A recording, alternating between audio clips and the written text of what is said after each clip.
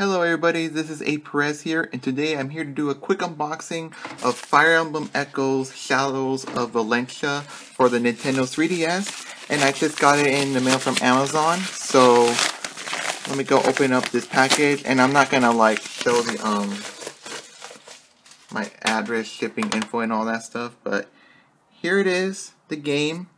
It's basically a remake of, I guess, of Fire Emblem Gaiden, which was like a Japanese only game, and now it's finally got localized as a 3DS title.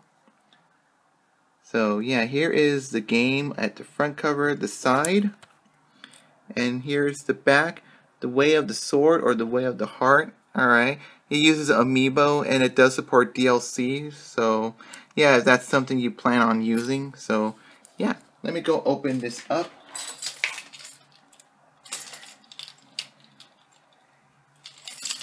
Alright, sorry it took me a while. It's like, it, uh, alright.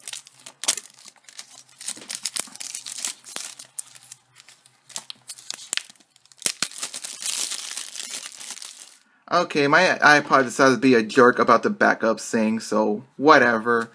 well, the wrapping part is boring anyway, so here it is. So let's go open up and see what's inside. We do have the game card inside there as usual. We have like Alm and Celica from, as these characters are called, in like 8-bit sprites. And we have like the game manual and nothing much interest. But yeah, that's the um, quick unboxing for Fire Emblem Echoes. So yeah, thanks for watching the video everybody. I will see you all next time. Laters.